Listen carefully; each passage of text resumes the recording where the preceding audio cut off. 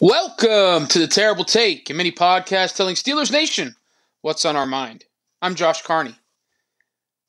Mike Tomlin certainly had no time for any questions Tuesday about the identity of his football team through the season's first six games.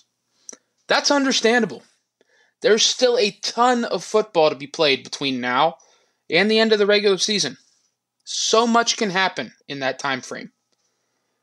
But the fact of the matter is, the Steelers don't exactly have an identity yet, at least on the offensive side of the football. However, there is good news. They may have rediscovered their identity offensively on Sunday against the Los Angeles Rams in the fourth quarter. In those final 15 minutes of action, the Steelers possessed the football for 11 minutes and 55 seconds. Yes, you heard that right.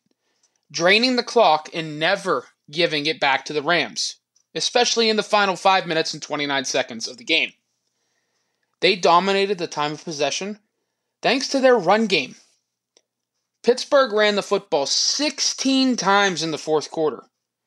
Take out the final three kneel downs from quarterback Kenny Pickett, the Steelers had 13 carries. 13 legitimate carries, I should say. On those plays, the Steelers gained 57 yards on the ground and scored two touchdowns. A 13 yard touchdown from Jaylen Warren that tied the game, and then a three yard touchdown from Najee Harris that gave the Steelers the lead. In the fourth quarter alone, the Steelers gained 4.38 yards per carry. Take away the two quarterback sneaks from Pickett that moved the chains and gained just one yard each. The Steelers had 11 actual run plays with Harris and Warren and gained 55 yards. Do that math? That's good for 5 yards per pop. Pretty good numbers overall, I'd say. The Steelers were the bullies in the fourth quarter, playing the type of football they've been striving for over the last two seasons with Pickett under center under head coach Mike Tomlin and offensive coordinator Matt Canada. Tomlin might not be ready to make any sort of identity declarations regarding the Steelers right now. But from my vantage point, it's pretty clear that Sunday's performance in the fourth quarter in Los Angeles is exactly the team the Steelers want to be offensively.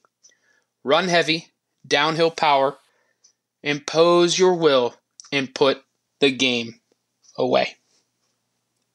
It couldn't have come at a better time. Be sure to follow us at SteelersDepot.com and check out episodes of The Terrible Take every day at 5 p.m. Eastern Time. And check out The Terrible Podcast with Alex Kozora and Dave Bryan every Monday, Wednesday, and Friday.